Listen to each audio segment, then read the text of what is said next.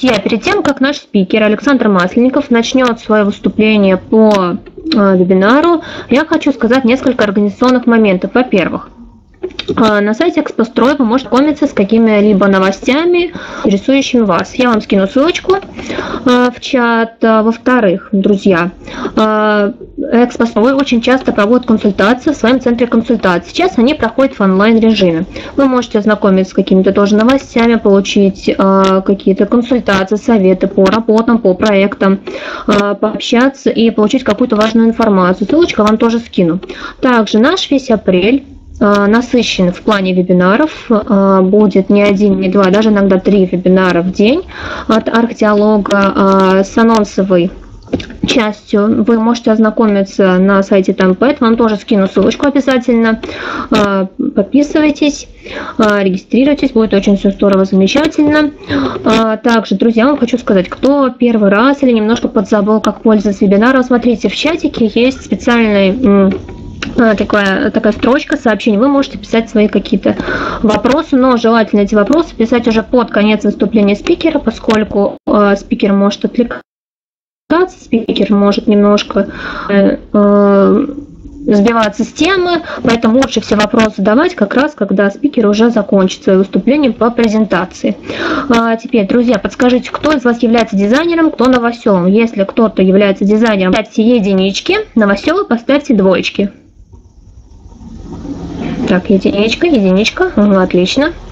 Чтобы наш спикер понимал, какая у него сегодня целевая аудитория. Также, о, единичка, замечательно. А, друзья, кто вообще из какого города? Российского города. Кто откуда? Москва? Да, кто откуда нас слушает? О, Барнаул. Замечательно. Пермь. Замечательно. Москва, Москва, Москва, Москва. Многие столицы. Ульяновск. М -м, здорово. Так, друзья, а, еще, если у кого-то есть какие-то вопросы по записи вебинара, да, мы будем э, вести запись вебинара, но видео, как правило, мы укладываем YouTube, это будет не сразу, это будет в течение недели, потому что сами понимаете, что нужно время, нужно затратить определенное количество сил для обработки этого видео и для размещения его на специальном сайте, называемом YouTube. Поэтому э, все ждем, набираемся терпения, когда будет это видео выложено. Пока э, предлагаю вам насладиться замечательным вебинаром по светильникам. Хочу вам представить Александра Масленникова, который сегодня будет выступать и рассказывать вам э, информацию очень такую насыщенную по выбору светильника, для чего, какой предназначен и так далее. А, Александр представляет компанию также Донолюкс. Донолюкс является нашими арендаторами по Кому тоже интересно а, ознакомиться с их продукцией, вообще получить какую-то информацию, тоже скину вам ссылочку здесь, можете перейти и посмотреть. Александр, если вы меня хорошо слышите, если вы готовы, я вам передаю слово, я пока от вас отключаюсь, друзья. А, Все внимание на экран.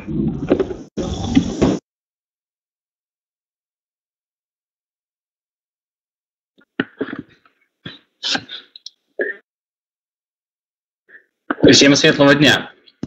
А, так, коллеги, сейчас немножечко разберемся с презентацией. Я ее подгрузил, но она у меня почему-то не открывается. Так, поставьте, пожалуйста, плюсик, кто со мной уже знаком, кто уже знает, как я читаю, в какой манере, и э, кто меня уже так или иначе вживую, либо не вживую видел. Угу. Ой, отлично. Очень рад, что много знакомых э, людей. Прекрасно, прекрасно, прекрасно, отлично. Всех вас очень рад видеть. Спасибо большое, что нашли время прийти. Э, прям Супер, супер. Вот. Сейчас э, параллельно решаем вопрос с презентацией, подгружается. Э, вот. И смотрите, перед тем, как к ней перейти, я бы хотел объяснить вообще, для чего инструментарии нужны. Да? Многие, многие из вас знают, что на сегодняшний день, на сегодняшнем В нем очень огромное количество разных э, способов э, сделать так или иначе светло, сделать так или иначе акцентно и так далее. Да, огромный выбор, огромное многообразие, что использовать, да, что нам лучше взять э, на заметку, от чего лучше откреститься, да, и на что смотреть, потому что всегда огромное многообразие, да, оно порождает э, определенное количество вопросов. Вот. Я надеюсь, что в процессе сегодняшней э, лекции, да, я постараюсь на множество из них ответить. И мы посмотрим с вами э, слайды, собственно, такая пирамида Масленникова, где есть разные производители, э, где э, какой-то топик находится, где находится непосредственно да, классификация разных производителей. Ура! Победа! Наконец-то! Оно подгрузилось, сделалось. Друзья, Друзья, это был настоящий квест. Я э, очень извиняюсь, извиняюсь за такое долгое ожидание. Что-то на самом деле впервые э, подобная история возникает с проблемами со связью и так далее. Окей, все, главное, с этим разобрались. У нас остается не так много времени. Без лишней лирики я предлагаю начать с вами и наверстать, э, скажем так, вот это потерянное время. Э, мы с вами остановились на типах оборудования. Я вам э, показал такой вот слайд, где, собственно, с левой стороны нас технический свет. Почему я его называю техническим? Многие мои коллеги его называют архитектурным светом. Э, в моем понимании архитектурный свет, так как я очень много работал именно с градостроительной историей, очень долгое время работал именно с архитектурной точки зрения именно по освещению фасадов зданий, то он для меня является архитектурным, да. Но многие, соответственно, из рынка, да, э, мои коллеги, и не только коллеги, они называют его именно архитектурным, поэтому, чтобы не, не было путанности, архитектурный слэш технический для удобства восприятия. На правой стороне у нас декоративный свет, арт-объект. На прошлых вебинарах я уже рассказывал, да, что предлагаю декоративный свет э, именно как арт-объект воспринимать, не э, как объект освещения, то есть не как источник освещения. Так, э, отвлекусь чуть-чуть на... Угу, угу. Все, есть, все, меня слышно и видно. Отлично. Дорогие друзья, видно все? Все нормально? Слышно, видно, плюсики, кто видит, слышит. А то, может быть, эти проблемы не только у меня. Да, презентация уже есть. Супер. Ну все, слава богу. Слава богу. Отлично. Поехали. Значит, самое частое э, распространенное такое явление, да, это встраиваемые точные светильники в потолок. И существует абсолютно огромное количество э, разных вариаций и квадратные, и И в сегодняшний день на рынке просто огромнейшее количество разных вариантов под любую задачу, под любой запрос. Здесь что важно знать э, именно в плане выбора. Да? То есть, когда вы используете какой-нибудь точечный источник, всегда помните о том, что у вас будет вот такая светотень, когда у вас падает локальный источник на лицо человека, у нас с вами будет да, э, образовываться тени. Поэтому в качестве общего освещения, ну, наверное, окей, да, и чаще всего мы делаем как? Тот самый квадратно-точечный. Вот как здесь на вот этой э, прекрасной картинке, да, то есть когда мы, нам задача стоит 300, 400, там, 500 люкс, в зависимости от типа помещения, нам нужно создать. Окей, да, э, берем точечные источники и создаем. Э, Тут, смотрите, моменты какие. Первый. Именно с точки зрения эксплуатации и монтажа самого даже. Давайте так, что на каждый светильник нужно будет подвести питание. Да, то есть а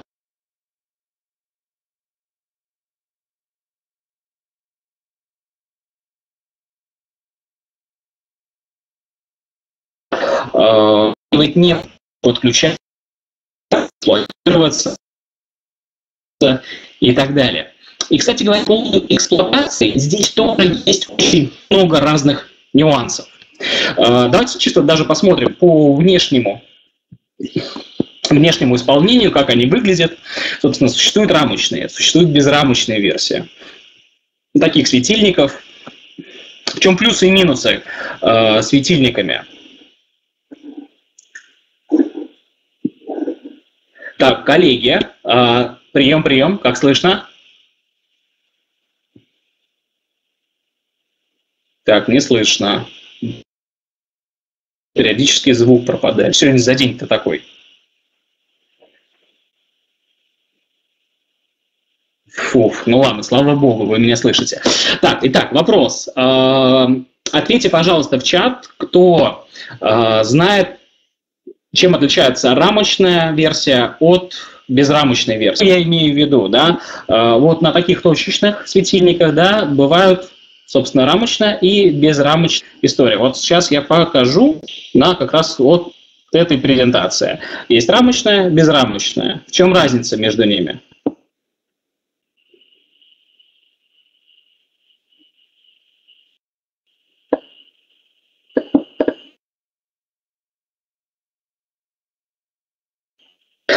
Ну, смотрите, и безрамочные, и рамочные можно, э, собственно, да, и те, и другие э, достаточно легко э, оставлять. Просто разница в чем? Что когда мы с вами, вот как раз примером по монтажу, да, делаем отверстие, если мы не уверены в наших подрядчиков, которые занимаются эм, шпаклевкой, да, выравниваем стены и так далее, не совсем, ну, скажем так, ровно вырезали, да, и не смогут нормально зашпаклевать, вот смотрите, то есть процесс, допустим, просто рамочной версии, да, он вот так вот вставляется и как бы закрывает неровности, можем спокойно, что никаких косяков в плане вырезов, да, ну, они будут скрыты. Если же у нас история безрамочная, мы сначала должны смонтировать непосредственно саму арматуру, зашпаклевать, и только уже потом, собственно, непосредственно вставлять сам световой прибор, да, светильник. Вот. И такие нюансы. То есть к тому, что нужно быть в них уверен, что они адекватно, пряморукие, все хорошо сделают. И э, эстетически, конечно, безрамочные решения смотрятся сильно выигрышнее, да, то есть они смотрятся всегда классно. Такого, конечно, мы с вами не сможем сделать в натяжных потолках. То есть такой способ, он годится только для гипсокартона.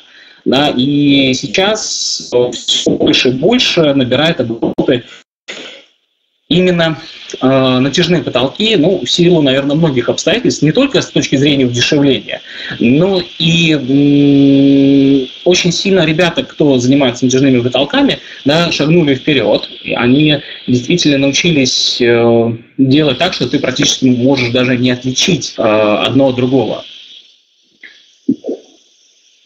Так, ну что, да, собственно, там э, конструкция примерно та же самая, только чисто э, именно визуально, как это будет выглядеть. Безрамочная, она э, более гармонично в, в самом интерьере смотрится, и вот тот самый принцип из, из ниоткуда, да, свет. То есть бывают еще гипсовые решения, когда, например, гипсовый светильник, и он плавно уходит туда наверх. Смотрится бомбически. Очень классно.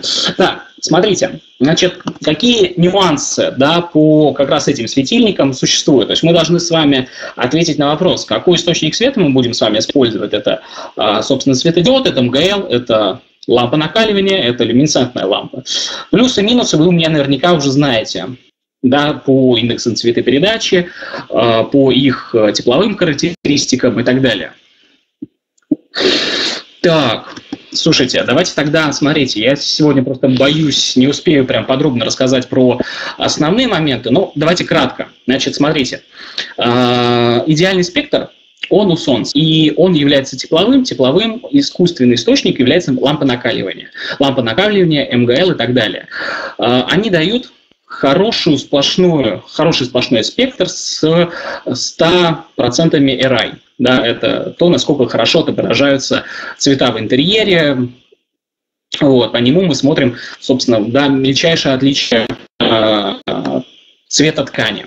Далее, собственно, когда идут дальше уже после тепловых газоразрядный и уже светодиоды, это спектр наборный. Соответственно, RI, да, он стремится только к 100, он не достигает этих значений. Поэтому тут нюанс именно по тому, насколько он будет хорошо отображать оттенки в этом пространстве.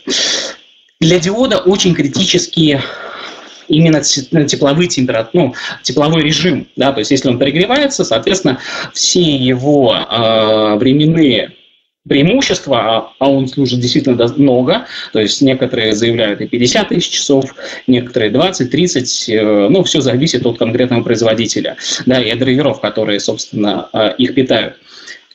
Это прям такая глубокая отдельная тема. вот, и Соответственно, э, у диода преимущество в том, что он компактный. Нам нужно минимальное расположение от а, самого потолка до опуска, ну, навесного потолка, либо это гипса, либо натяжной. У других же источников они сами по себе достаточно габаритные, то же самое лампа накаливания, да, мы берем, у нее есть уже какие-то достаточно большие габариты. Соответственно, здесь мы да, опускать потолок будем гораздо сильнее.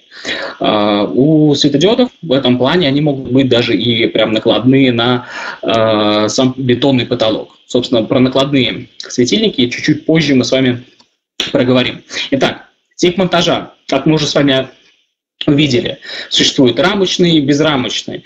Форм-фактор, круг, квадрат, глубина встройки – очень важный параметр, и каждый архитектор и дизайнер бьется по полной программе именно за него, да, потому что это важный момент. И э, что я хочу сказать, да, что глубина встройки, ну, смотрите, что такое сам источник света? Да, вот, допустим, мы откинем традиционные источники света, газоразрядные, на светодиоде, потому что, в принципе, он сейчас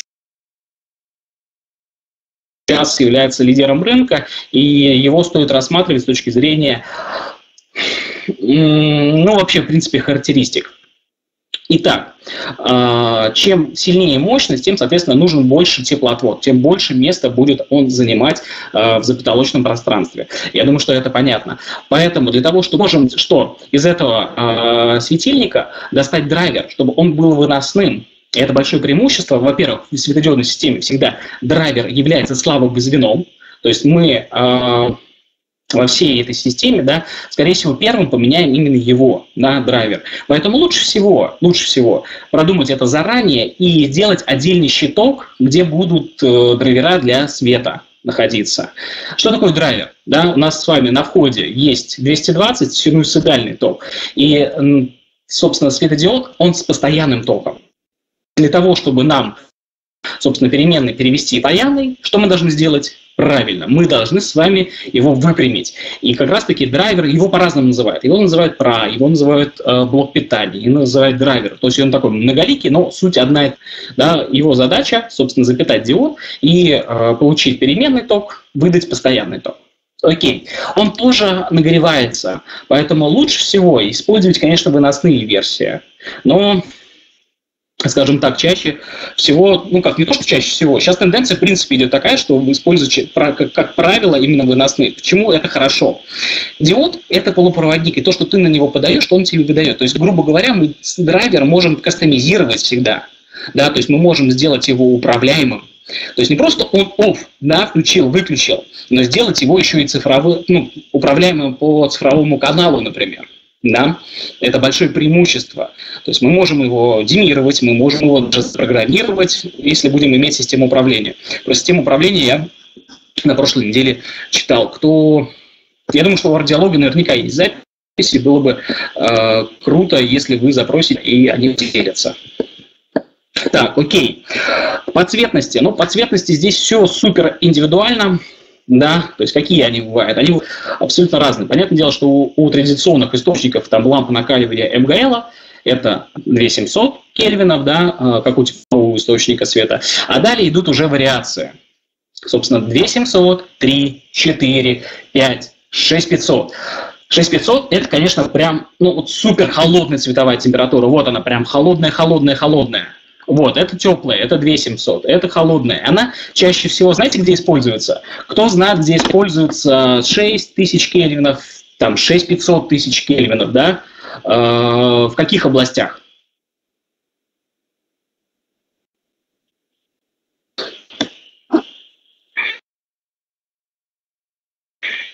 Промка, больница, медицина. Медицина, хирургия, совершенно верно. Э, вот да, именно медицины. Ну, в офисах, наверное, в меньшей части она используется. Там в, офисах, в офисных пространствах, как правило, используются 4. Почему я говорю как правило? Потому что, ну, а, есть разные стили, записан именно там теплые источники света. Такое тоже бывает, кстати говоря, у многих европейских компаний. А, медицина, правильный ответ, да, а, у синего спектра, собственно, да, у него красная составляющая, она практически отсутствует. И она используется в хирургии для того, чтобы отличить здоровую ткань от больной ткани, да, и, соответственно, вырезать ну, то, что нужно вырезать. Я не, не, не сильный, конечно, специалист в тому, что нужно там обрезать, но, тем не менее, да, здоровую и больную ткань а, за счет синего спектра мы можем различить. Вот. Так, поэтому чаще всего именно в чистых помещениях используется такая очень холодная цветовая температура.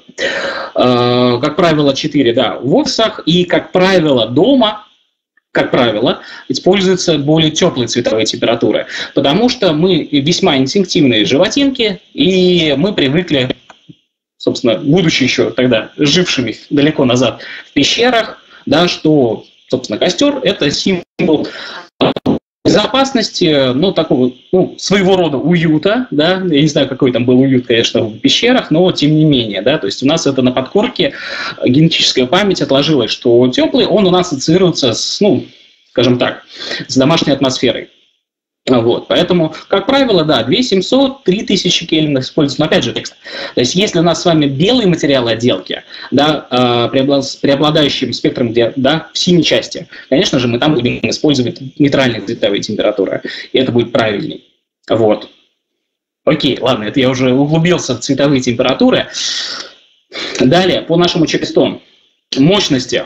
Мощности здесь тоже бывают абсолютно разные. Мощность, конечно же, очень сильно зависит от высоты пространства, да, то есть какое у нас помещение. Если это стандартные 2700, да, там 2800, там, ну, до, до 3 метров, да, как правило, используются там 9-ваттные источники света.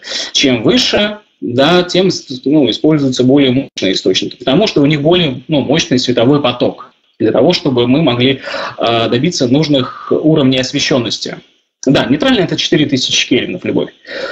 Так, в салонах, студиях, да, все правильные комментарии, прям идеально. То есть в салонах, ну, в салонах, на самом деле, больше скажу, там используются комбинированные источники, то есть там есть и то, и то, и другое. То есть есть и теплый, и нейтральный, и холодный. Вот, кстати говоря, у меня тут тоже такой, как своего рода студийный свет, хочу похвастаться. Мне буквально вчера привезли э, специально для эфиров вот такой вот, собственно, свет, вот, и он может переключаться. Смотрите, то есть есть вот теплый режим, на, а, наверное, плохо видно, но вот по лицу моему видно, видите, теплый, собственно, это холодный 6500, и такой, ну, 4000 кельвинов. Вот еще раз, теплый, холодный и комбинированный 4000 кельвинов.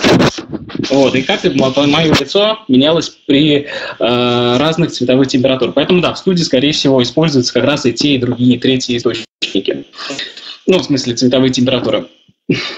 Оптика. Очень важный момент. Оптика в светильнике. Есть споты, да, которые имеют узкий пучок света для того, чтобы создать акцент. И чем ярче будет акцент, тем э, мы увидим с вами контрастную картинку. И таким приемом очень часто используется э, именно в коммерции, в ритейле, в хорике, для того, чтобы нашим вниманием с вами манипулировать. Чем шире, тем, соответственно, мы получаем более, ну как, равномерно засвеченную область без каких-либо, собственно, акцентов. Да?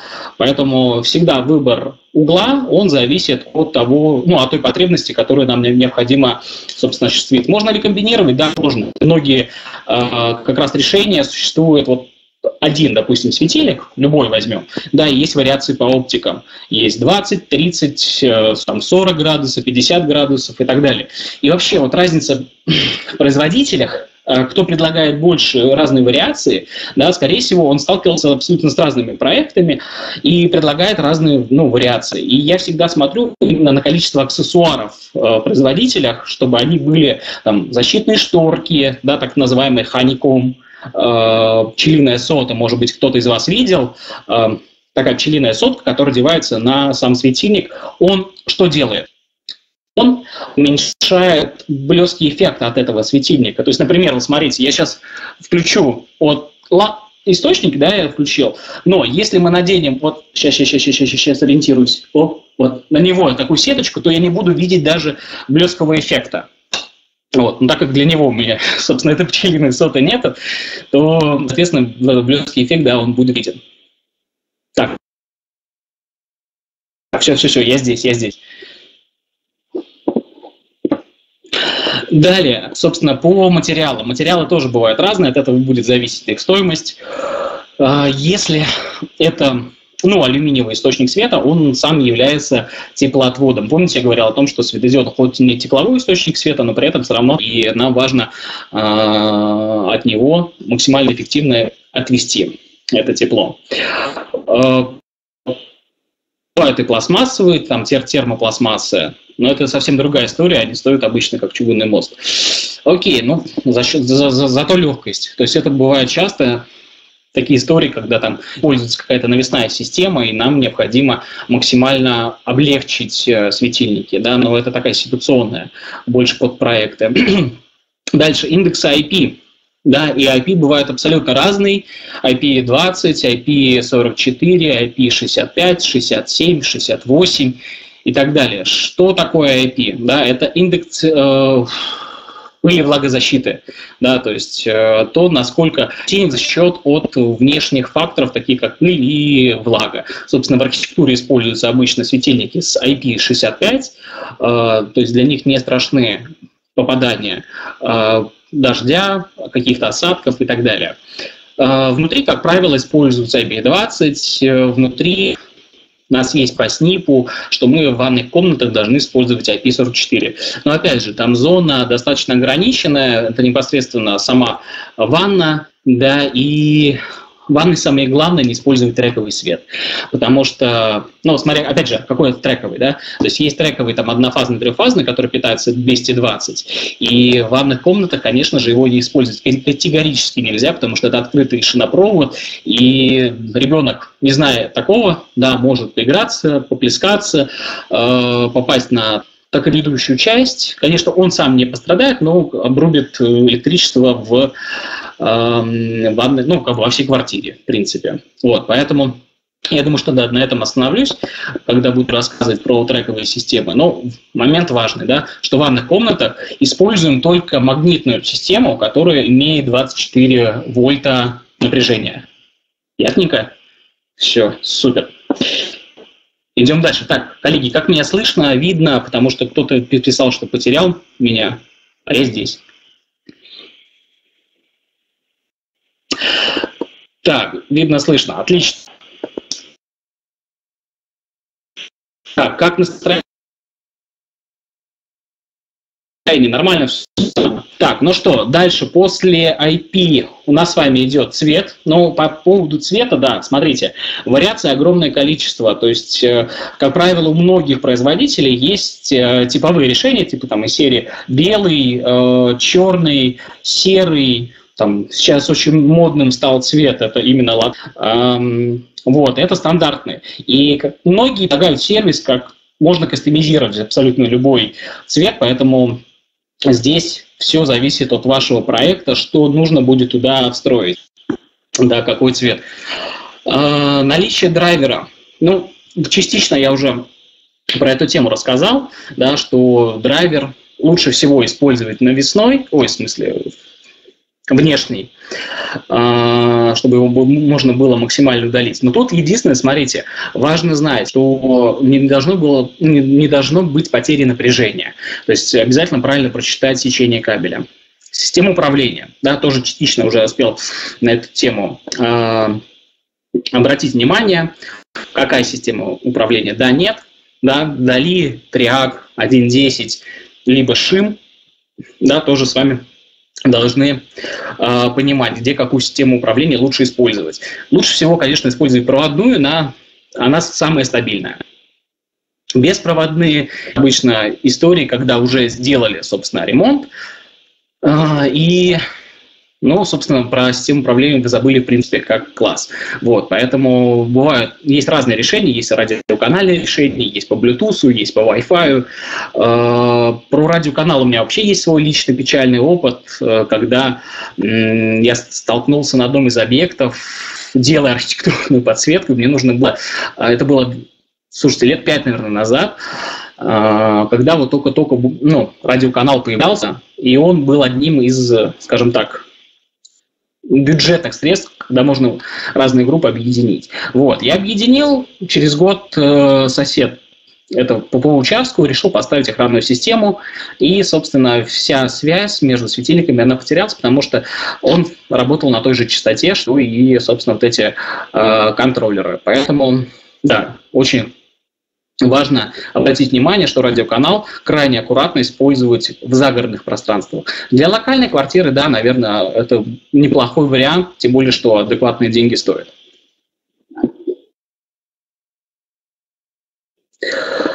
Так, окей. Идем дальше.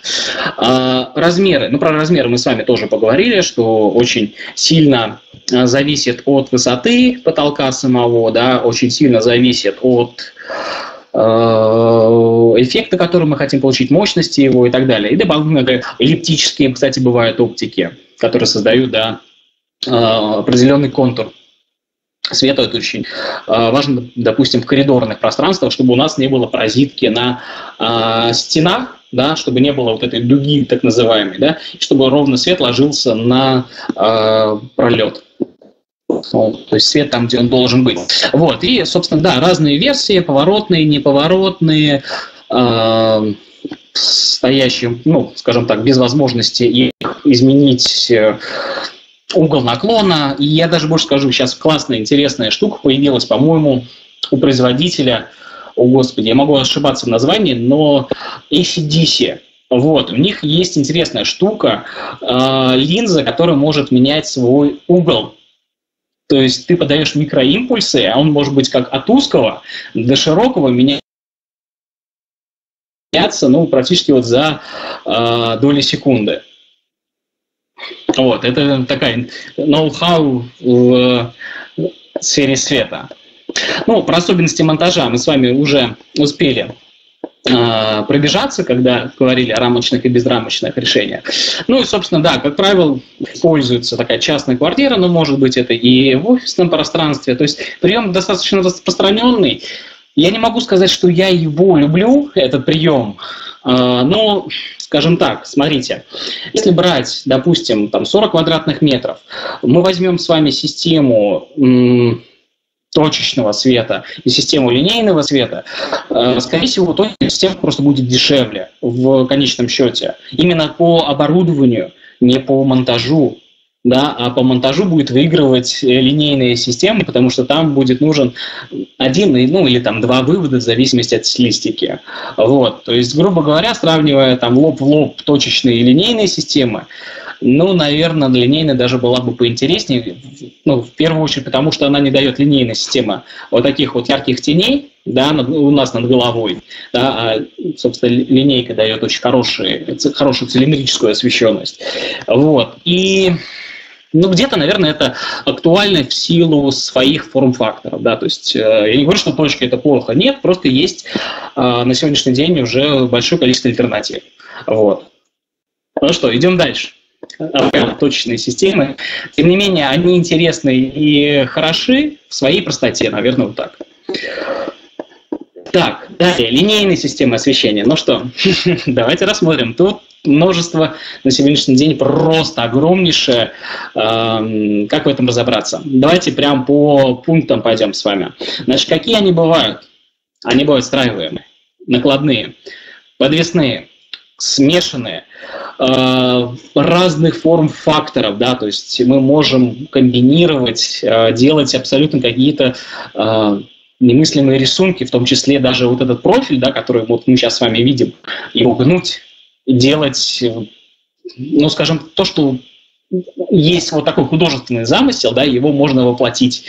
И э, в этом плане вот мне дико нравилось, э, ну как нравилось, нравится. Я дикий фанат э, Захи Хадид, которая, собственно, свет интегрировала пространство, да, и она использовала, конечно, огромное количество линейных систем освещения в своих проектах. Это очень круто.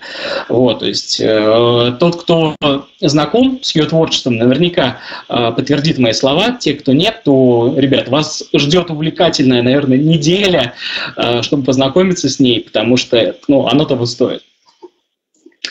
Так, опять я пропадаю. Да что ж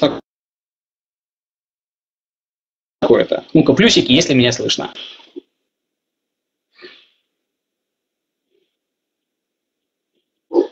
И все в порядке, отлично.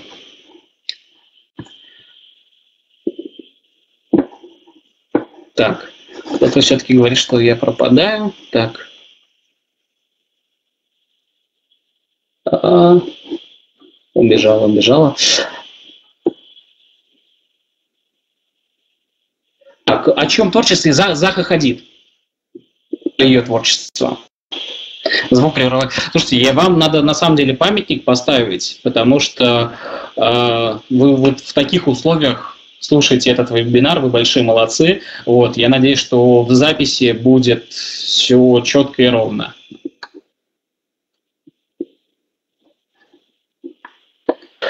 Так, окей, ну что, Линейное освещение. Ну, линейное действительно э, на самом деле очень сильно полюбилось многим, многим и дизайнерам, и архитекторам. Я больше скажу, что линейные системы, они сейчас э, очень плотно используются и в архитектуре, то есть да, для подсветки э, фасадов зданий. Есть потрясающее абсолютно решение с высочайшими степени IP, IK. IK – это ударопрочность. Я думаю, что для внутрянки, ну, IK – это не самый, наверное, распространенный параметр, но он тоже важный, потому что бывает так, что э, в некоторых помещениях да, это необходимо. То есть э, в СИПах это регламентируется, тоже про этот параметр должен нужно знать. Так, э, линейные освещения, да, то есть какие они бывают? Э, они как раз таки делают, да, светодизайн. Они делают какие-то да, цветовые формы, определенную ритмику, идентику они делают. То есть смотрите, вот с правой стороны пространства. Почему бы не сделать просто взять и вот линейки вот так вот настроить, чтобы сделать определенные уровень освещенности. Это не нужно делать, да, потому что определенную, да, идентику, то есть они создают определенный объем в этом пространстве. Да, у нас э, вот эта линия прерывистая, она позволяет увидеть, что помещение как будто бесконечное. Вот, поэтому визуально оно даже смотрится намного приятнее и комфортнее.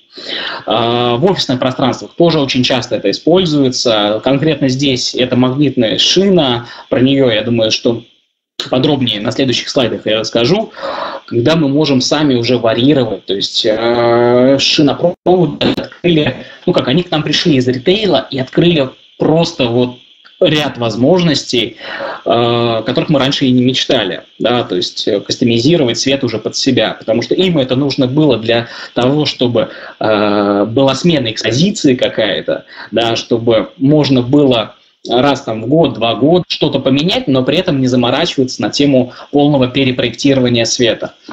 И чтобы он выполнял свою самую главную функцию да, продажи. То есть э, свет как продажа – это один из крутых инструментов, вот, и на своих вебинарах я часто рассказываю как раз вот кейсы, там и киевские кейсы, и по ресторанам. Э, окей, не буду сейчас углубляться, у нас остается всего лишь час, а я только разогрелся. Так, ну что, я уже так плавно перешел от такого линейного освещения э, к трековому освещению. И здесь вариации, ну, ребят, просто огромнейшее множество. Да? Как я уже сказал, что трековые системы освещения, они к нам пришли из ритейла, из хорики, из, э, собственно, бизнеса. Э, и многим тоже они полюбились. Но смотря скажем так, разные проекты по квартирному вопросу и э, подобным передачам, да, как инструмент он крутой, но, знаете, это вот ложка хороша к обеду, что называется. То есть она нужна в основном, да, если мы говорим, допустим, про точечные светильники, которые в этот трек встраиваются, да, вот как вот здесь на этой картинке, то они в основном в большей своей массе это споты. споты для чего нужны? Для того, чтобы сделать акцент. То есть это вот музейное освещение, это э, подчеркнуть какой-то, да, э, какую-то архитектурность, ну, то есть создать определенный контраст. И такими решениями очень часто делают общее освещение э, в пространстве. И это некорректно. Почему? Потому что э, когда ты ставишь такую шину, и когда ты в разные стороны нацеливаешь светильники, хорошо, если нацеливаешь эти светильники, а бывает так, что, ну, как монтажник смонтировал, так оно обычно и остается. И может произойти так, что ты входишь в помещение, а тебе какой-нибудь трек да прилетает в глаз. И это супер некомфортно. Приходишь туда, и каждый раз тебе все меньше и меньше хочется э, находиться там. И ты даже сначала не понимаешь, почему на самом деле, да, то есть э, что-то тебе становится там некомфортно, а некомфортно как раз-таки именно сам свет. Вот многие из вас наверняка замечали, когда приходят в какой-нибудь кафе, в ресторан, да, и они не могут себе объяснить, а почему здесь некомфортно. Некомфортно может быть, во-первых, а, не нацелен на ну, сам свет, б, плохое само качество света, и э, третий вариант – пульсация. И это прям у многих прям панацея на эту тему, потому что э, в чем проблема? Мы ее не видим своим глазом, да, то есть мы можем увидеть, ну, э, в самых худших случаях, то есть когда вот уже прям откровенно он пульсирует. Э, и такой бытовой метод, бытовой, да, то есть это не во всех, не, не в 100% случаях работает. Когда мы камеру открываем, мы видим дикую рябь, да, на телефоне. Конечно же, это не совсем корректно, да, и корректнее всего использовать именно пульсметр. Э, собственно, вот у меня есть такой приборчик, он сочетает в себе и уровень освещенности, он и яркомер, и, соответственно, может померить пульсацию. То есть заодно померяют пульсацию вот от своего вновь пришедшего светового оборудования, которое как студийная, студийный свет. Слушайте, ну да, он стоит своих денег, 1% пульсации. Вот я не знаю, как мне его зафиксировать. Ну, в общем, ну, 2, сейчас он понизится. Вот, даже 0,06. Вот, 0,6 э, процентов пульсации, ну, это говорит о том, что все, в целом все хорошо. И в наших нормах обычно до 5% должно быть на рабочем месте. Почему во многих офисных пространствах, собственно, у нас с вами возникает синдром сухого глаза. От некоторых знакомых я даже слышал какую-то абсолютно э, страшную историю, что в медицинском кабинете человек работал, по-моему, что-то в районе 15 лет, э, и там стояли вот эти люминесцентные лампы, которые сейчас у нас, ну сколько, наверное, процентов 80 случаев в административных зданиях да, используются. Сейчас идет, конечно, постепенная, э, как это, реновация, назовем это так. Вот, и вот этих люминесцентных ламп была пульсация что-то в районе 30 что 5%. Вот, и человеку через 15 лет сделали операцию на глаза. Вот. Понятное дело, что, возможно, это там луна в Козероге и там много чего сошлось, но э, пульсация, да, то есть она ощущается организмом. У вас в глазах, там, знаете, как будто температура даже повышается. Вот, поэтому Пульсация, допустим, ну, смотрите, по СНИПу, да, по нормам, оно должно быть до 5% на рабочем месте. Вот. То есть, э, э, чем, ну, как бы, чем выше, тем вот. И, кстати говоря, по поводу демирования, да, то тоже отдельная песня. Если мы используем с вами шим, широкоимпульсной модуляции, это обычно самые простые драйверы для светодиодов. Э, и когда мы начнем с вами демировать по широкой импульсной модуляции, да, получится 60, у нас пульсация будет сумасшедшая, процентов как раз-таки 40. Вот. С чем это связано? Демирование там происходит за счет того, что происходит скважность, то есть какую-то часть времени горит, какую-то не горит. И за счет того, что наш глаз с вами инертен, мы вот это не видим, когда он загорается, когда это до секунды происходит. Но мозгом мы с вами это чувствуем. Но смотрите, не, не факт, что от ЛЛ, грубо говоря, ЛЛ это э, ну, вот люминесцентные лампы, они бывают с разными дросселями. Да, бывают электромагнитные дроссели старого поколения, ну прям совсем старого поколения.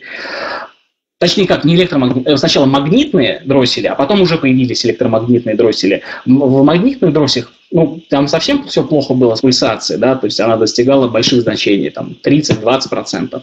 Вот, а с электромагнитными стало чуть-чуть получше, они стали и весить меньше, и сами давали, в принципе, достаточно адекватные характеристики, то есть, там, ну, 5-10% они э, доводились. Все сильно зависит у люминесцентных ламп и компактных люминесцентных ламп, очень сильно зависит именно от э, дросселя, да, который будет на них ставиться. Прям ну, то же самое, на самом деле, и с драйверами. То есть, какой драйвер будет стоять на диоде, такое качество света мы будем с вами получать. Кстати говоря, интересный факт про люминесцентные лампы. Круто, что вы вспомнили. А, у люминесцентных ламп я вот думаю, нет, они не единственные. Короче, есть такой параметр в газоразрядных, как цена включения. То есть чем больше мы включаем с вами вот эти люминесцентные лампы, тем для них хуже. То есть принцип какой? На концах трубки, да, вот эта люминесцентная, сейчас вот, да, вот, э, есть катоды и аноды, да, которые, собственно, делают разряд в в лампе, да, и э, за счет люминофора у нас происходит уже ну, преобразование видимый спектр. И чем чаще мы включаем, тем быстрее разрушаются вот эти аноды и катоды вот этой люминесцентной лампе. Да, и мы можем гораздо быстрее увидеть с вами вот эти почернения, которые есть на концах трубки. Вот. Это значит, что уже она скоро придет в негодность. И, скорее всего, она доживает свою срок службы, и чем больше она доживает свою срок службы, тем ухудшаются у нее характеристики, в том числе и пульсация. Вот. Фух, так. Что-то мы от трековых систем э, ушли уже в эти в люминесцентные. Так, какие лампы сейчас лучшие светодиодные? Слушайте, ну, смотрите, точно мы с вами хорошие лампы вряд ли найдем в обе либо Leroy Merlin. Я такой дикий вообще, вот, как это, хейтер, что называется. На самом деле я, ничего не имею против этих магазинов. Я, ну, наоборот, дико их уважаю, что они дают э, шаговой доступности, практически шаговой доступности, да, там любые стройматериалы. Вот. Но со светом, да, там, конечно, есть известные марки, там и Philips, и Osram, и так далее, и так далее, но там, как правило, самые бюджетные версии, да, и хороший свет мы там, скорее всего, ну, не найдем. Какие лампы лучше выбрать? Ну, смотрите, большое количество, в том числе и же самый. Вот тройка есть, да, а, большая мастодонтовская тройка. Это Philips, Osram и General Electric. Так исторически сложилось, что это э, такие мастодонты, которые действительно держат свое производство на достаточно высоком уровне. Но и сейчас они на самом деле, вот знаете, как вот с автомобилями было, да, Mercedes, BMW и так далее, тоже, конечно, происходит определенная просадка. Да, и сейчас вот производители такие, как а там, Hyundai и Kia, да, начинают забирать вот этот рынок. И Dynalux можно, наверное, так, такую, собственно, э, провести параллель, да, что Dynalux является в этом плане сейчас вот таким а вот Hyundai или Kia, которые начинают, да, больше охват делать. Вот, по уровню качества света действительно там очень параметры. Так, э, по вопросам сейчас посмотрю. Так, какие лучше выбрать? Ну, на этот вопрос я думаю, что ответил. То есть лучше из этой тройки. Вот. Ну и в этой тройке, конечно же, тоже бывают э, моменты, да, нюансы. То есть первое, что мы должны смотреть, это, конечно, если говорим про светодиоды, э, индекс э, цветопередачи, ну и, конечно, чтобы был хороший драйвер. Как выбрать хороший драйвер, чтобы у него была защита от перегрузки, от перегрева, ну вот, наверное, вот эти параметры. так, можно ли трековую систему монтировать в натяжной потолок? Э, смотря какие, да. То есть, если есть закладные, в Linux они скоро, кстати говоря, появятся. Да, сейчас есть кастомные решения, которые, собственно, монтажники делают, но для того, чтобы это стало массовым, да, э, сейчас уже есть такая разработка, и можно действительно натяжной потолок делать как однофазные, трехфазные, магнитные системы и так далее, да, можно. Так, есть прекрасные трековые системы для натяжных, например, а, ну, есть, да. Так, чем отличается нарыв конденсатора света? А, слушайте, буквально в понедельник у меня был, а, было интервью а, вместе с моей коллегой, с которой мы делали один из объектов, и, собственно, было изначально как раз просчитано на вот да, на нем, который упоминался сейчас в чате, и на э, двух альтернативных брендах. И получается так, что, ну, скажем так, я к нему достаточно скептически отношусь. То есть у меня есть две позиции. Там позиция с точки зрения там, предпринимателя и с точки зрения, допустим, именно э, потребителя. Вот, с точки зрения потребителя они как бы, ну, Слушайте, очень сложная тема для прямого эфира, честно. А то пойдет ведь запись, и потом, потом кошмар в онлайне. Как вы делаете расчет квадрат? Ой-ой-ой-ой, ваты на квадратный метр. Не, Мария, это э, не совсем корректно. То есть в интернете, конечно же, существует, собственно, формула, которая говорит о том, что сколько нужно ватт на квадратный метр, но, к сожалению, в этой формуле у нас нет с вами понимания, какие материалы отделки мы используем для стены, потолка, пола и так далее. Это, ну, супер важно. Смотрите.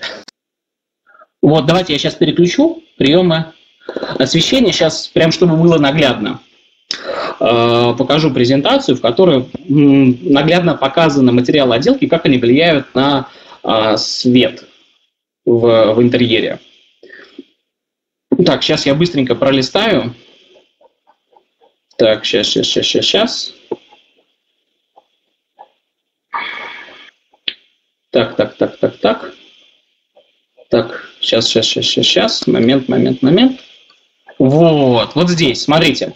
У нас здесь только изменен потолок, по большому счету. То есть, э, и посмотрите, как сильно отличается уровень освещенности на левой и на правой картинке.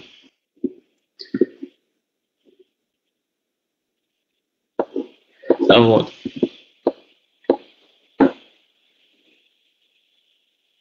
Поэтому, да, формула здесь будет не совсем корректная. Лучше всего, а, конечно, себя проверять в расчете диалюкса.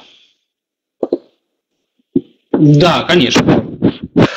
Так, понятно в плане, смотрите, был вопрос задан на тему того, что сколько там ватт на квадратный метр и так далее, как делается расчет. Расчет обычно делается в, конечно же, мы проверяем себя в программе Dialux,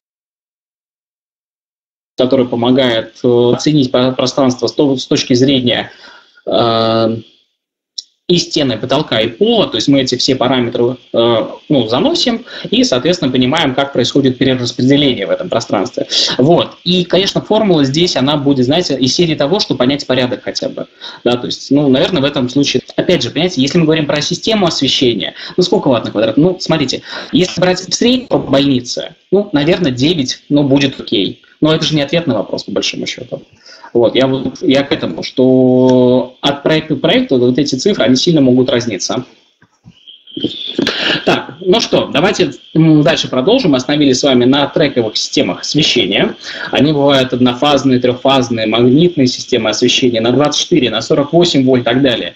И когда я приводил пример, допустим, про ванную комнату, что мы ни в коем случае не должны там использовать трековое освещение, это касалось именно однофазного и трехфазного э, трека, да, который имеет открытые шинопроводы. Вот они у нас открытые шинопроводы, и туда вставляется, собственно, сам световой прибор.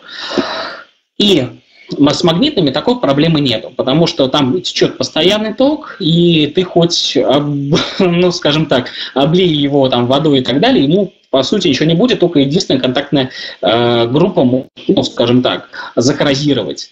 То есть, ну, быстрее прийти в негодность. Поэтому, конечно, лучше таких вещей не допускать, но это не страшно с точки зрения электробезопасности. Вот, окей.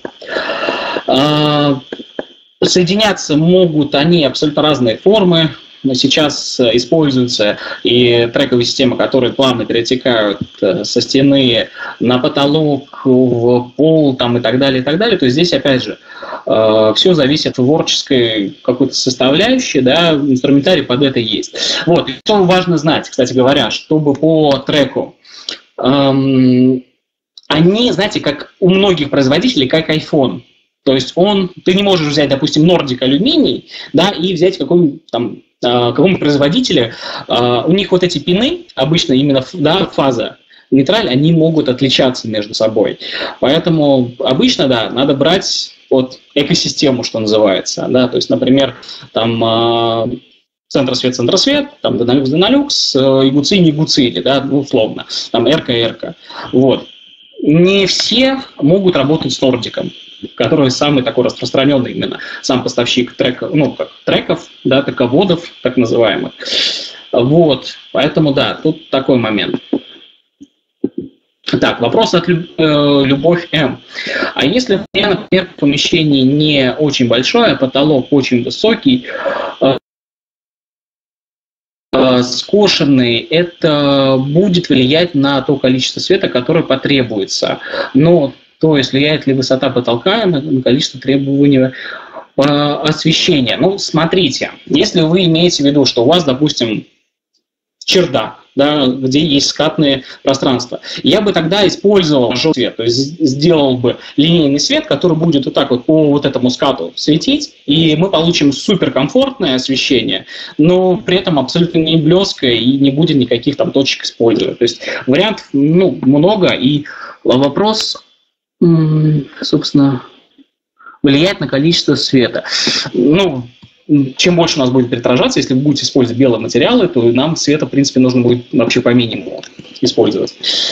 Так, трековые системы обычно используются, а, как я говорил изначально, они пришли к нам из ритейла, из хорики, а, музейном освещении очень часто используется, потому что там часто происходит тоже смена экспозиции. Ну и внутри, конечно же, да, многим они полюбились, стали интересны и так далее, да, то есть большие-большие плюсы, разные есть варианты и по оптикам, и по всему остальному.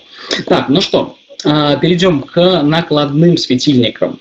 Да, это отдельная тема, там, где у нас нет возможности с вами сделать какой-то потолок, либо накладной, либо, ну, в смысле, натяжной, гипсовый и так далее. Вот, поэтому здесь мы можем использовать, да, накладные версии. Они, во-первых, могут быть обусловлены самим дизайном пространства, да, они могут быть обусловлены какой-то ритмикой, которую мы делаем, либо просто мы не можем физически э, с вами сделать там ну, упуск какой-то. Поэтому, да, на помощь приходят накладные, они обычно э, из серии в серии очень похожи с встройками, либо с магнитными системами, то есть, грубо говоря, они практически вот одна фамилия да, то есть одна серия, которая может монтироваться разными способами, то есть это и э, встройка, и накладной, и трековые, и, и так далее. Вот, собственно, да, накладные. Э, какие нюансы по накладным? Да, мы должны с вами, э, так же как и с точечными светильниками, прокидывать э, каждому источнику э, питания. Да, собственно, мы должны понимать объем да, который нам нужно будет подключить каждый из э, этих э, приборов. С трековым же тут намного проще. Да, у нас есть всего лишь один вывод, и мы на этот один вывод можем подключить достаточно большое количество. Это большой классный плюс, когда, к сожалению, так или иначе, ну, про проект освещения был, ну, было забыто, да, и у нас, ой, остался один вывод. И даже в этом случае можно а, работать с пространством, можно делать разные приемы освещения, да, про приемы, а, кто у меня слышал уже, какие плюсики?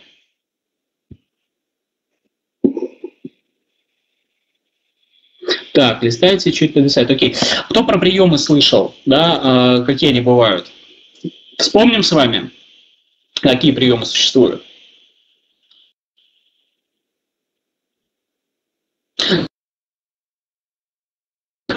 Так, ну смотрите, я про...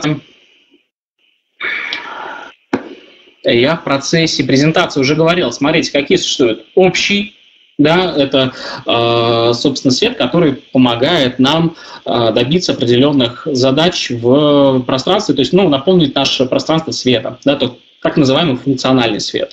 Давайте я вам включу подсказочку.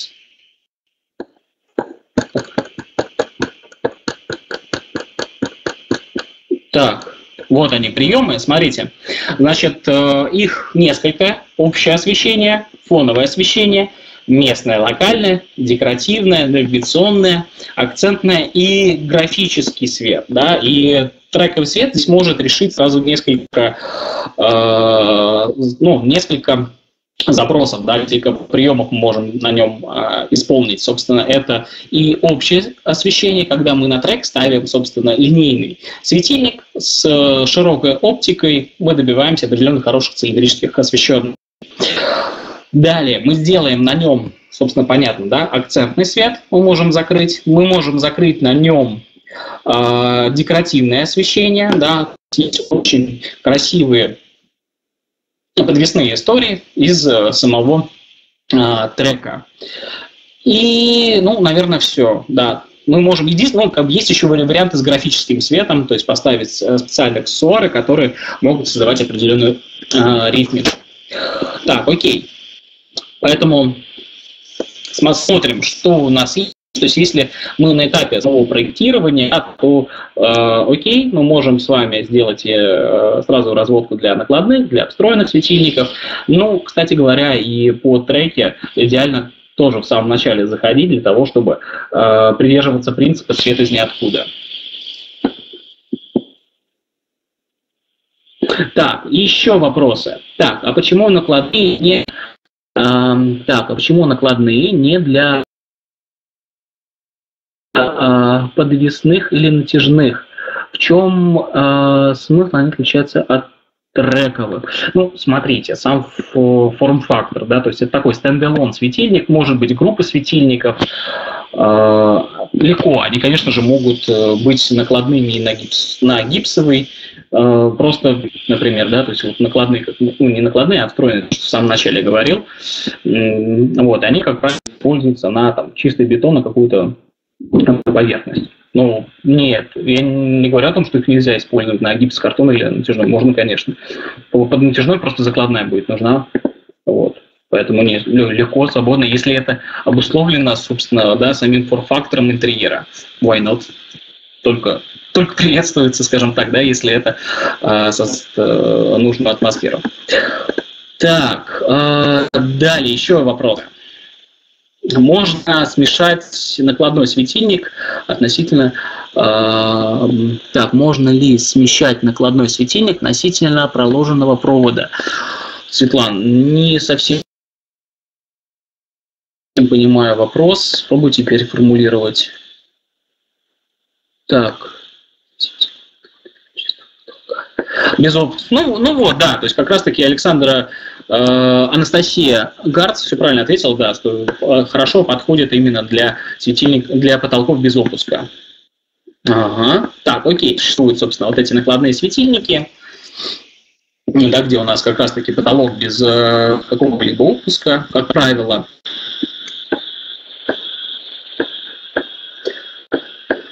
Где у нас и так потолок низенький, да, мы не можем что-то использовать. Кстати говоря, один из кейсов тоже э, был, сейчас я покажу, сейчас я покажу, вот здесь вот где-то у меня один из кейсов был, сейчас, сейчас, сейчас, сейчас, сейчас, сейчас, один из кейсов, сейчас где он? Вот здесь, наверное. Да, да, да.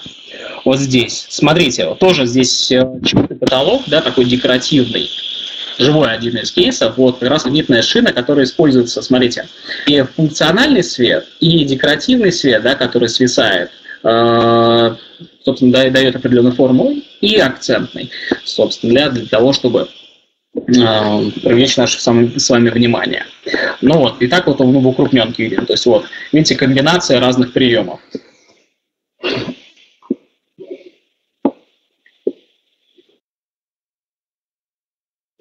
Так. Ой, слушайте, по поводу штробить случае нельзя, штробить сто процентов нельзя, но э, многие ловкачи, действительно, ну, профессионалы своего дела, э, делают э, бетонное плита, же полая, да, то есть у нее есть отверстие, и по этим отверстиям, собственно, да, высверливают и не нарушает целостность по большому счету, да, то есть прокидывают вот так вот провода и выкручиваются ситуации. То есть, ну, я разного на монтажах видел. А, плохая история, ну, с точки зрения рискованная, но, тем не менее, если специалисты по монтажу а, большие профессионалы, они будут а, в полостях проводить э, этот кабель. Так, э, друзья, давайте, наверное, вопросы вы не пишите, я, наверное, э, в конце их читать, потому что очень сильно я отвлекаюсь, и у нас еще с вами много чего впереди. Так, собственно, возвращаюсь к накладным системам. Потому что мы, мы с вами только половинку пример. Собственно, да, какие следующие приемы? А, подвесные светильники. А, подвесные светильники такие именно технические, они чаще всего используются, конечно, в офисных пространствах, они используют э, для подсветки локального рабочего места, то есть э, очень часто бывает, что да, подвесные это могут быть и линейные системы, и трековые системы, и непосредственно там сами светильники. В чем плюс некоторых из них? Допустим, есть подвесной светильник с отраженной составляющей. Отраженный свет вообще, в принципе, самый комфортный. Да? То есть, если у нас с вами есть э, такой подвесной светильник, и у него потолок имеет белую матовую структуру, то вечером мы, как правило, в офисных пространствах увидим, что горит именно отраженный свет, да, который уже не самый интенсивный, потому что, конечно же, да, большое количество а, света теряется, но при этом он не раздражает глаз, он максимально комфортен. Кстати говоря, а, в детских помещениях как раз-таки лучше всего использовать отраженный свет, да, то есть без какого-то направления без каких-то либо, ну, каких-либо ярких источников, да, чтобы не травмировать дет, ну, детский глаз. Вот. И, кстати говоря, по поводу детских, да, у меня есть такие там список рекомендаций, потому что детская, да, зрительный нерв, он формируется до 14 лет. И здесь важно э, в детской комнате до этого момента, конечно, обеспечить лучшие ну, световые характеристики, чтобы, во-первых, смотрите, что важно. А, важны высокие индексы цветопередачи, чтобы у ребенка с самого детства были правильные ассоциации. Да? То есть, если это красный, то это красный. Если зеленый, то зеленый, да, и так далее.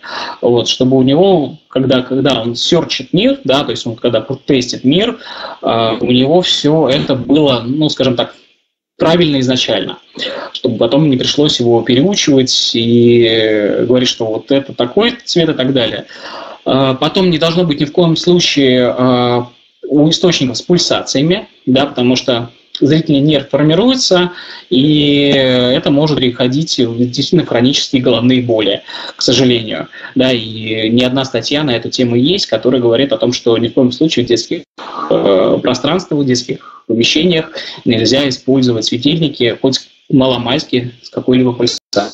Поэтому с этим аккуратненько. Вот. Значит, отраженный, без пульсации, с высокими передач. Всего три правила на самом деле. Вот так. Так, окей. Так, если перекрытие монолит э, встроить нет, но обычно, если что монолит, то накладные э, бывают системы, либо по полу, я тоже видел, что проводят, да, э, и какие-то, ну, открытую проводку. Все зависит, опять же, от стиля. Если невозможно, то, конечно надо будет опускать в любом случае, да, то есть если не открытая проводка, то по, по монолиту, ну, нельзя ни в коем случае стробиться, это, ну, тупо небезопасно. А, так, подвесные светильники. идем дальше, смотрим, какие есть вариации. А, абсолютно в разных форм-факторах. А, очень многие используются, там, в том числе и индустриальные а, светильники, да, там, так называемые кабаны. Вот. Поэтому вариаций огромное количество. Законечная подсветка, что? Переходим к нашей любимой, обожаю эту тему, а, потому что очень много ошибок с ней возникает. А, с ней возникает огромное количество именно нюансов а, и так далее, и так далее. Смотрите, значит, по светодиодной ленте. Всегда светодиодную ленту нужно использовать с каким-либо профилем. Если она у вас не видна, она у вас где-то находится ну, в карнизе, да, то для того, чтобы у нас не было с вами вот таких вот да, перегибов всего остального, лучше всего использовать просто да, алюминиевую э, рейку. Мы можем свободно ее купить да, в том же самом Леруа Мерлене.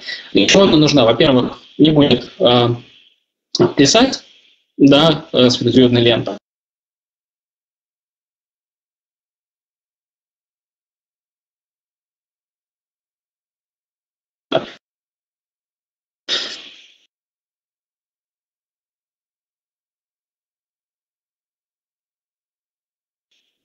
Во-вторых, для теплоотвода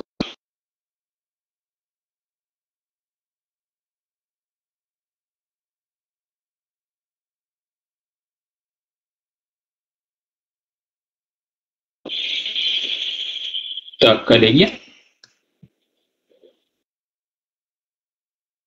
Все, все, все, я здесь, слышно.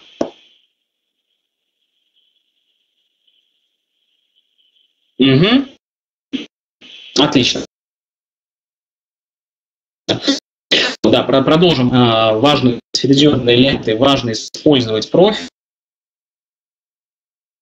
для, как минимум, для охлаждения. И если он где-то открыт, либо мы таком, ну, в прямом наблюдении он находится, да, то есть здесь очень-очень важно, чтобы не было точечности, да, то есть чтобы не было, как мои говорят коллеги, гребенки, да, вот, ну, и все зависит от высоты от этого профиля, от шага самой ленты, потому что разные бывают. 60 диодов на метр, бывает 120 диодов на метр, 198, 240. Сейчас вообще есть сплошные решения.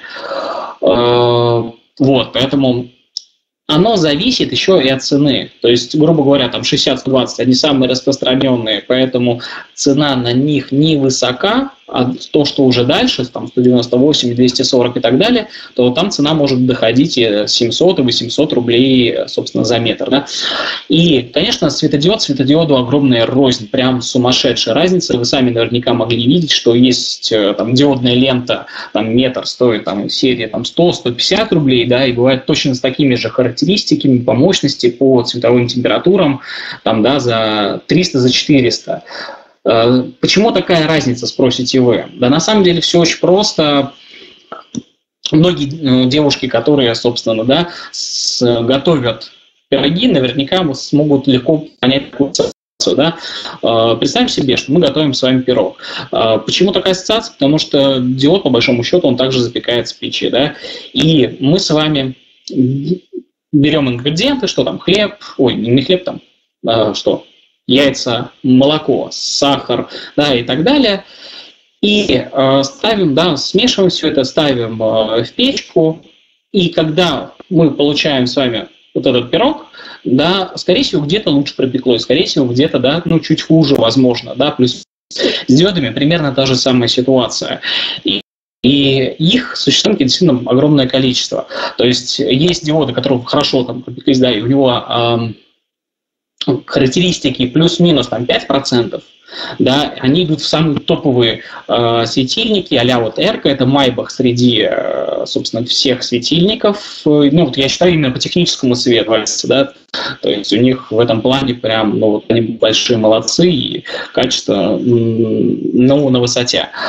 Вот, а бывают, соответственно, да, уже по неспадающей. И таких градациях, градаций огромное количество. Вот. Есть, собственно, так называемый шаг Макадама, да, и, э, собственно, три да, это тот момент, когда мы с вами не увидим различия между цветовыми температурами. Где он выше, соответственно, различие цветовой температуры мы с вами увидим очень-очень хорошо. И бывает так, что как раз вот в той ленте, которая там за 100-150 рублей, мы с вами можем увидеть абсолютно полярную историю, да, когда у нас и теплый и холодная температура. И у многих производителей, понимаете, э, получается какая история?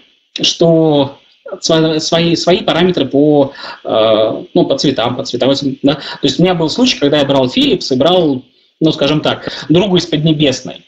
И точнее, я был уверен, что там 2700, то в другом, надо, кстати, этот слайд обязательно прикрепить. Сейчас а, не знаю, смогу ли я его оперативно. Ну, короче, суть в чем, что я взял тоже достаточно бюджетные лампочки, решил экспериментировать на себе, так делать не стоит, а, точечные вот так вот по периметру. Тоже было заявлено 2700 кельвинов, но по факту, по факту получилось, что там было 4 4700, почти 5000 кельвинов. Представляете, какая разница, да? То есть у производителя, ну вот, вот окей, вот у меня, у меня вот 2700, она вот такая. Вот. И вот тут есть опасность. И опасность какая? Что от партии к партии это значение может быть разным. Вот что. Да? То есть вот тут очень, очень опасные скользкие моменты. Почему собственно, да, цена, она отличается у светодиодной ленты там за 100, за 150 рублей, и у, ну, за 300, за 400 и так далее. Собственно, да, это как раз говорит о том, что, скорее всего, у вас будет да, одинаковая цветовая температура у диодов, чем еще выше на ступень, тем, соответственно, из другой партии она тоже будет одинаковая. То есть э, SDSM, такой параметр, да, будет троечка. Так, тут я смотрю много-много вопросиков. Э, поступило. Давайте я сейчас открою, собственно, карнизную историю с диодными лентами и переключусь тогда к вопросам. Э, так, ну, примерно поняли, да, в чем различие получается у светодиодных лент. И, в принципе, со светодиодами такая история, да, со всеми. То есть э, ты можешь взять какой-нибудь бюджетную, ну, бюджетный светильник, и, к сожалению, один и тот же, вроде кажется, из одного семейства, он может очень сильно разниться и отличаться. То есть в случае, когда нужно, допустим, сэкономить, знаете, что советую? Брать хорошую лампочку, например, да, то есть вот то, что мы с вами а, пару минут назад обсуждали, и стройки, либо еще какие-то альтернативные варианты, а, и просто арматуру световую. Да, то есть мы берем какой-нибудь форм-фактор, там накладной, встроенный, и берем лампочку. В этом случае, да, э, если мы берем хороший источник сам по себе, да, то окей, мы себя обезопашиваем от формата того, что будет разной цветовой температуры. Так, у нас очень мало-мало времени. Слушайте, да, у нас 20 минут, а, собственно, я примерно на середине. Поехали дальше. Э, собственно, по, по закарнизной. Это действительно один из таких любимых приемов, он, как правило, используется в фоновом освещении. Кстати говоря, вот давайте я вам покажу. Вот мы с вами пробежались по разным сценариям, да, то есть мы с вами пробежались про базовые приемы.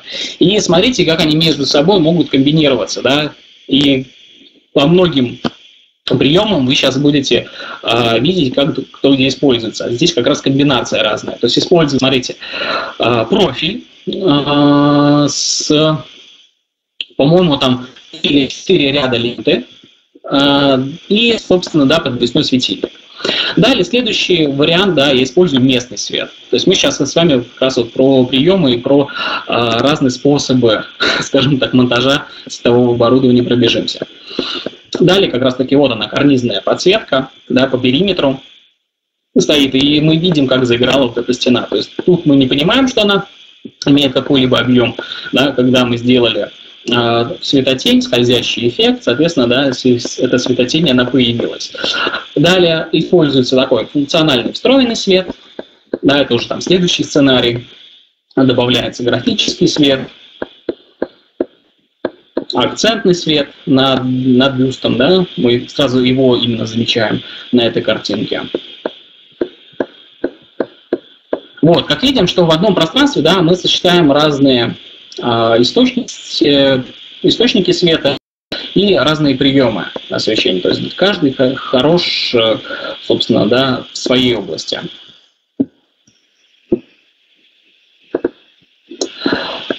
Так. Вот такие моменты, конечно, мы можем с вами получить только в случае использования дополнительной оптики, то есть это уже не профиль и не лента, да, это уже готовый световой э, прибор со скользящей оптикой, да, с узкой, там, 10 на 60. Э, так, кстати, по поводу КСС. -ок. Знаете, да, что это такое? КСС, показать, что это? Кривая сила света. Ну, можно так, показать? Показываю на пальце. С вами есть источник, да, и из этого источника, собственно, у нас выходит световой поток. Вот, вот, запомнили, да, вот, вот у меня над головой источник. И симметричный, он, он имеет две плоскости. Одна сторона и другая сторона, да. Это у нас симметричный, и вот то, что я сейчас показываю, это примерно, ну, 30 на 30, да, ну, 30 градусов. Да, чем шире, соответственно, да, это уже 60, 120 и так далее, и так далее. Узкий, соответственно, 5 градусов, он тоже симметричный, этот пучок а, выходит. А симметричный, он, смотрите, широкий в одной плоскости, да, то есть, например, как раз тут, тут стена, а тут у нас асимметричный с вами источник. Здесь у нас 60 градусов, а вот в этой части, да, когда как раз э, светильник взаимодействует с поверхностью, 10, он узкий. И тем самым он ложится ровно на собственно, эту стену. И у нас получается прекрасная светотень. И вообще во многих европейских компаниях э, многие, собственно, светодизайнеры, они могут ну, варьироваться их должности, в том числе архитектор по тени. Это в компании Via Безуна, да, архитектор по тени. Ну, круто, что они вот подходят именно, да, вот даже название у них есть для этого специальное. Вот, поэтому, да, здесь, конечно же, не, э, никакой не профиль и не лента, здесь готовый световой прибор с э, узкой скользящей оптикой. Вот, ну, да, он, конечно, очень сильно излюблен, этот прием, и используется, ну, скажем так, наше творчество с вами не ограничено. Э, графический свет, да, то есть когда свет является непосредственно самим таким, знаете, как пером художника, да, и мы можем с вами здесь варьировать абсолютно разные и не быть ничем ограниченным. Да? То есть бывают контурные светильники, которые создают э, именно эмоциональный формат. Да, то есть я давно уже говорю о том, что сам светильник, по большому счету, да, то, что мы сегодня говорим, его форм-фактор и так далее, он порой не имеет даже значения. Человеку необходимо эмоции, человеку необходимо решение его задачи. Мальчики, когда делают, собственно, отверстие в стене, они что делают? Они не дрель покупают, они покупают как раз-таки это отверстие в стене. Да, поэтому тут тоже важно понимать. Вот, и как эта графичность может выглядеть. Многие, кто был, допустим, в заряде, когда, ну, собственно, еще было открыто, на одном из куполов вы видели идентику, вот, как, которая как раз-таки да, вот здесь изображена. То есть на вот таком белом матовом куполе очень классно смотрится вот эта идентика. Прям вау всегда. Так, э, э, волвошеры, да, заливка стен. Очень интересный эффект мало кто, к сожалению, его использует. Я надеюсь, что сегодня вы меня послушаете и чаще это будете использовать. Заливка стен. Очень классный прием. На самом деле мы добавляем э, крутейший объем, да, но и смотрите, КСС у него, у этого светильника, не знаю, как, а, вот, вижу, как приблизить. Вот, КСС у него выглядит следующим образом. Да, то есть это асимметрик, о котором я как раз говорил. Да, он не создает никаких дополнительных пятен, но при этом он э, практически невидим, и мы можем сделать подсветку, добавить объем. Там, где есть у нас какая-то архитектурность, какая-то интересная текстура, конечно же, лучше ее использовать. Э, разные приемы существуют, это могут быть трековые, это могут быть, э, собственно, светильники общего освещения, вот, и так далее, и так далее. Да, вот это, кстати говоря, э, отдельная тематика, потому что вот я такую я первый раз увидел, по-моему, в фильме про Бэтмена, когда, собственно, да, Бэтмен шел по как его там гараж, не гараж, да, с лабораторией, где у него производилось разное его там оружие, да, и он шел и постепенно-постепенно за ним такой как бы след, э, выключались источники света и так далее. А, это смотрится классно, но там нету объема. То есть мы создаем такое как бы световое полотно, но мы перестаем видеть здесь какую-либо светотень, потому что мы получаем максимальную цилиндрическую освещенность. То есть да, это смотрится круто, как будто у нас э, небо над головой, но это, вы знаете, опять же, такая суперситуационная история. То есть некоторые очень любят, допустим, в ванных комнатах себе использовать такие световые полотна. Как это делается? Берется, собственно, натяжной потолок, берется световые модули с определенным шагом и э, обязательно красится в белый матовый слой, потом берут, берутся, собственно, алюминиевые рейки. На эти алюминиевые рейки мы уже располагаем световые модули. Да? И смотрим, какая высота, чтобы не было никакой точечности. Почему белый обязательно надо красить? Потому что будет переотражение ну, дополнительное. Если этого не сделать, то, э, к сожалению, мы будем видеть то, что будет на потолке.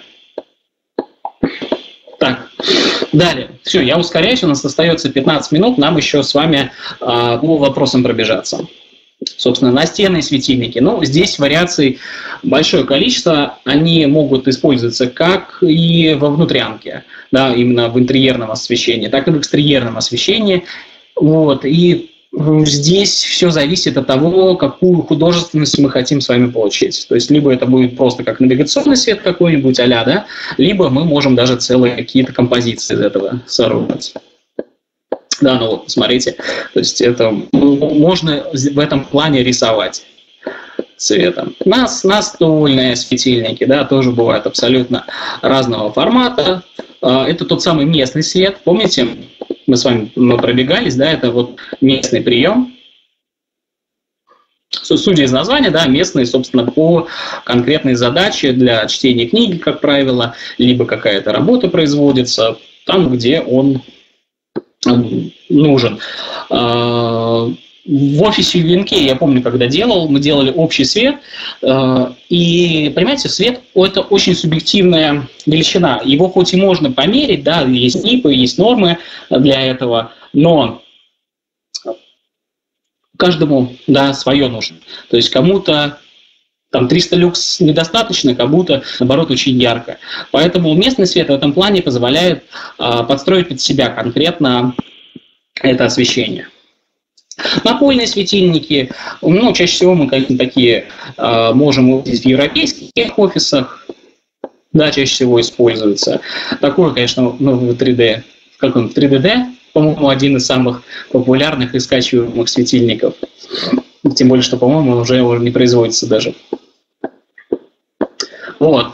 Поэтому вариантов огромное количество. Вот. И э, очень хотел ваше внимание уделить именно настраиваемые светильники в пол.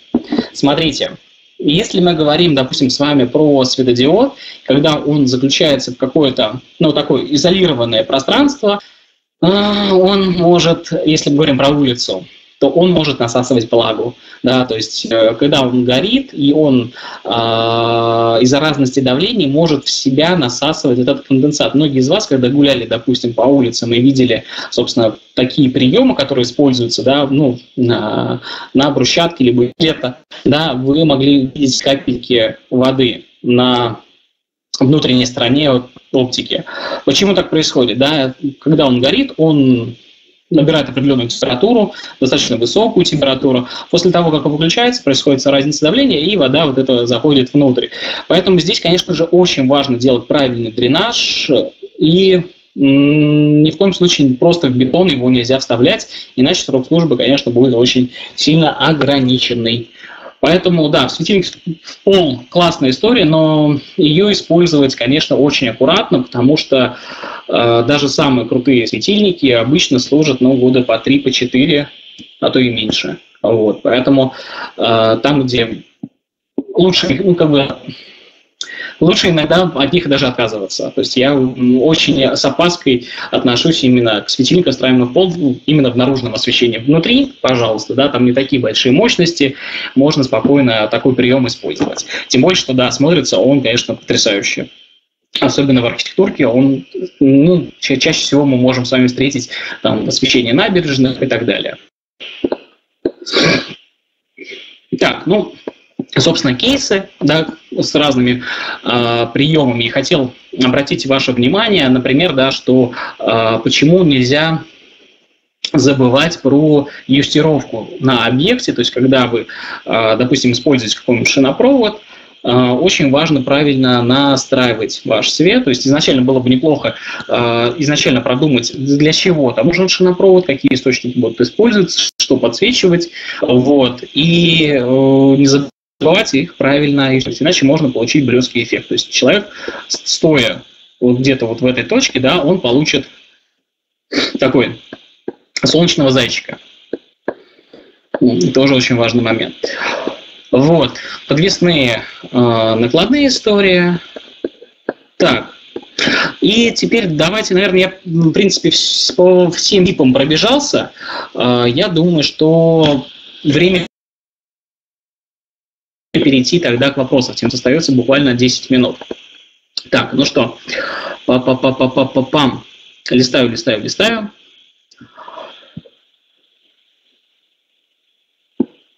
Так.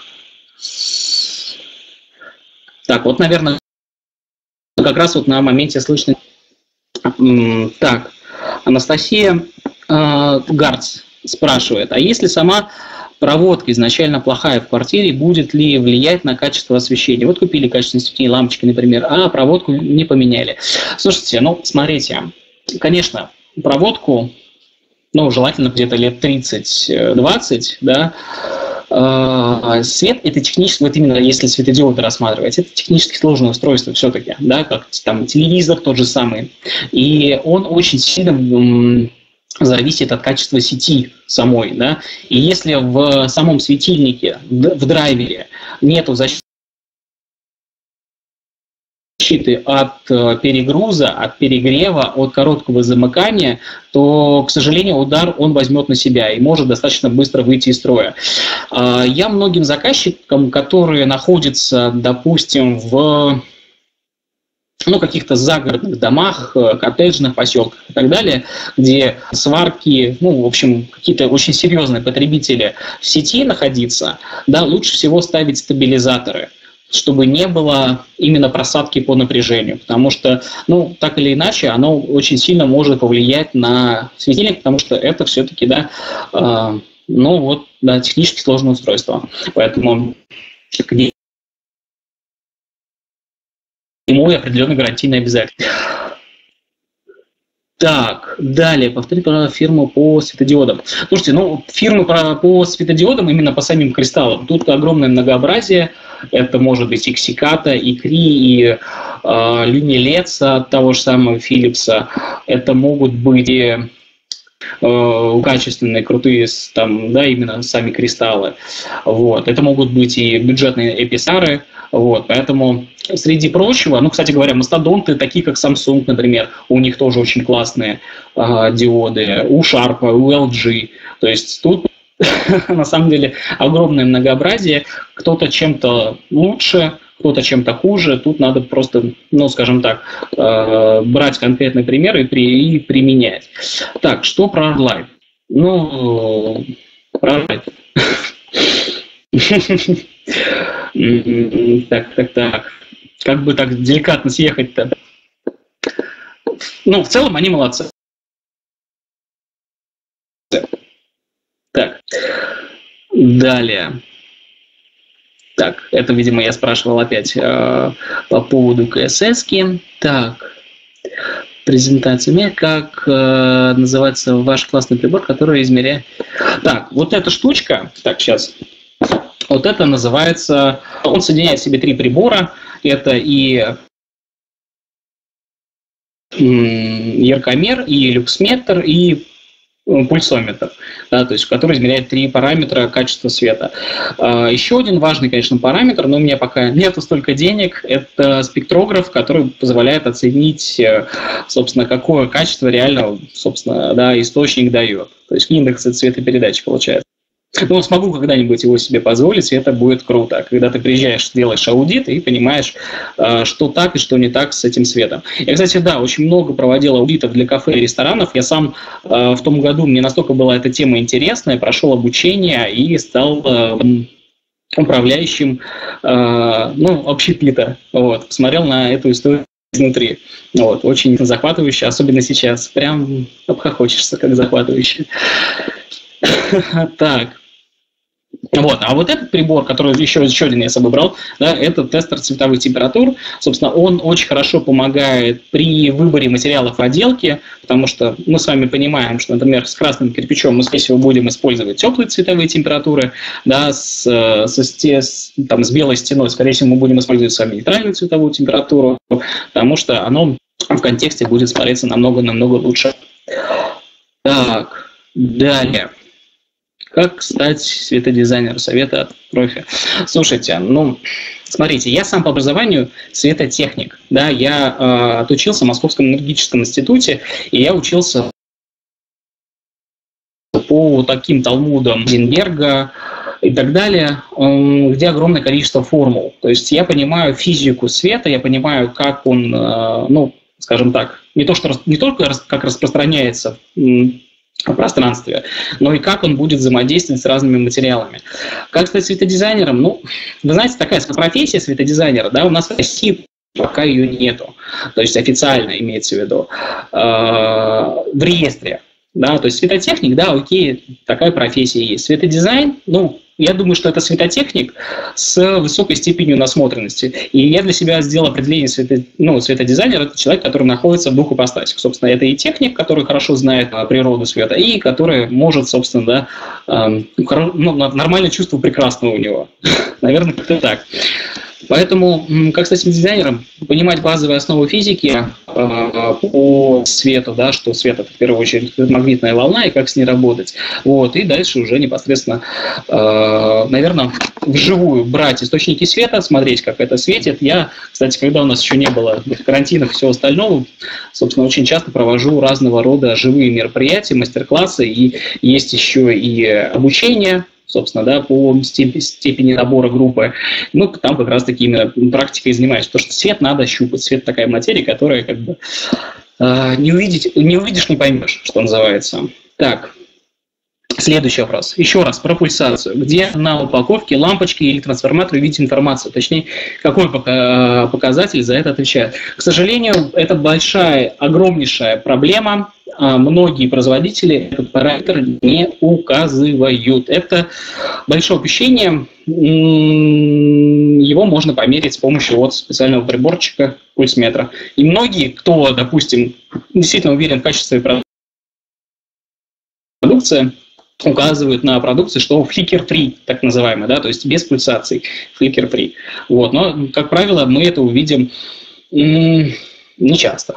К сожалению, я думаю, что в этом плане да, э, многие из производителей так или иначе скоро э, начнут подобные вещи делать, потому что сейчас уже да, именно на свойства, которые он дает. Поэтому рынок будет меняться, это 100%. Так, где эти анонсы обучения? Смотрите, давайте я ставлю контакт для, для вас. Во-первых, я хотел еще пробежаться, пока еще есть время, что важно знать нам с вами. Мы сегодня контекстом очень много говорили про качество света, да, про индексы цветопередачи. Мы с вами разобрали, что да, чем он выше, тем лучше мы видим с вами оттенки, и у разных источников он разный. Эм, так, это я пробегу. Короче, смотрите, эм, чтобы сейчас не, не занимать эфир, Э, я ставлю свой контакт, напишите мне, я хочу сделать э, правильный свет, и оставлю свои координаты.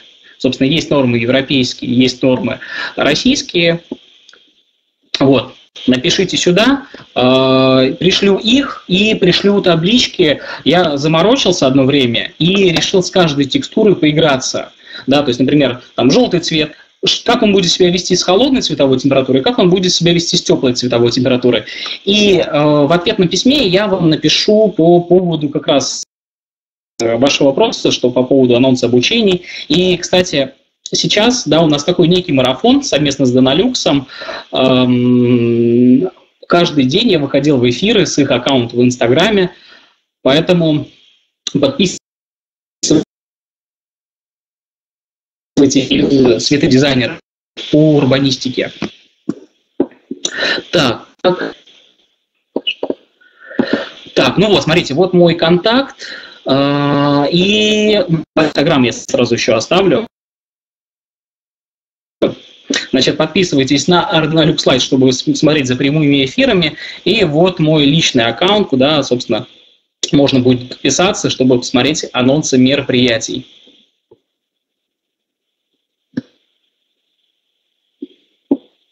Вот. Так, у нас с вами остается практически ничего. Э, на многие вопросы ответил. Если на какие-то вопросы я не ответил, извините, это было не специально. Если вы просто пролистал, э, вот, вы можете мне отправлять их в личку, с удовольствием отвечаю, стараюсь максимально оперативно. Вот, и лучше всего, конечно, э, писать, наверное, личный аккаунт, там больше вероятность, что я оперативно отвечу, потому что писем, к сожалению, много каждый день, и, возможно, не успеваю оперативно отвечать. Вот. И вам тоже спасибо огромное, что были сегодня со мной. Вы извините в самом начале за такие технические э, неполадки. Спасибо огромное, что посмотрели. Ваши все вопросы были потрясающие. Вы меня все молодцы, что дождались, вот, не убежали. Я думаю, что еще увидимся с вами не только в диалоге, но и э, на других площадках. Вот. И если вам понравилось, буду очень рад, если вы мне напишите что-нибудь э, приятное. Ну, можно, да, допустим, вот сегодня как раз сделал анонс э, в Инстаграме, что вот там вам как-то понравилось, для себя что-то интересное изучили. И будет очень круто, напишите именно какой-нибудь инсайдик. То есть, что для сегодня было для вас наиболее э, полезное, новое.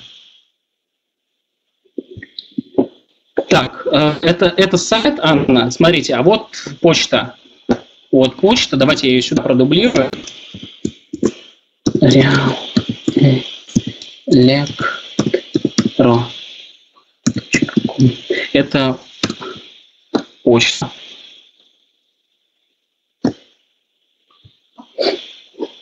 Вот, и забывайте, да, подписаться э, на Ардиалог, да на Люкс, на меня. Вот, буду очень рад новым людям. Поэтому, а, если есть вопросы у вас, я думаю, что уже на сегодня мы с вами будем заканчивать. Пишите в личку. Рад был с вами провести это время. Все, пока-пока.